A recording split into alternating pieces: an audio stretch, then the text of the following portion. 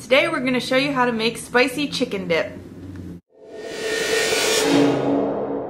We have 12 and a half ounces of canned chicken that's drained, one teaspoon of ancho chili pepper, half a teaspoon of cayenne pepper, a quarter teaspoon of habanero pepper, an eighth teaspoon of ghost chili pepper, one teaspoon of Louisiana hot sauce, eight ounces of taco hot sauce, eight ounces of cream cheese, one cup of mild cheddar cheese, and one cup of sharp cheddar cheese. So the first thing we're doing is we dumped in the 12 ounces of chicken and we're chopping it up into smaller pieces.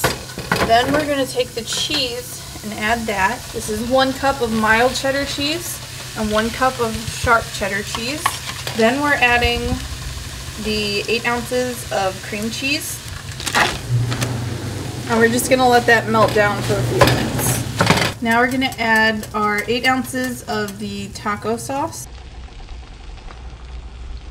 and let that mix in while the cheese melts.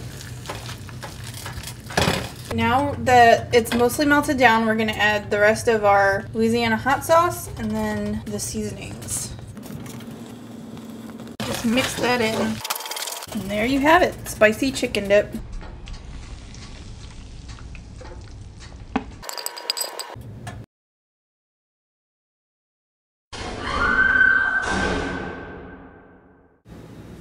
Smize.